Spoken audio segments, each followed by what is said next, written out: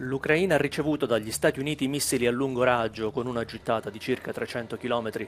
Sono già stati impiegati in almeno due occasioni e secondo media americani potrebbero esserlo nuovamente contro obiettivi in Crimea o nel Donbass.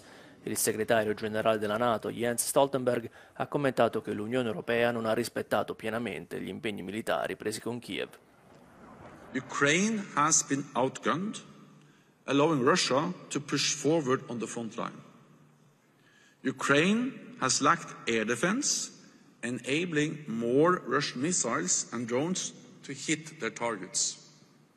And Ukraine has been short of deep precision strike capabilities, meaning Russia could concentrate more forces.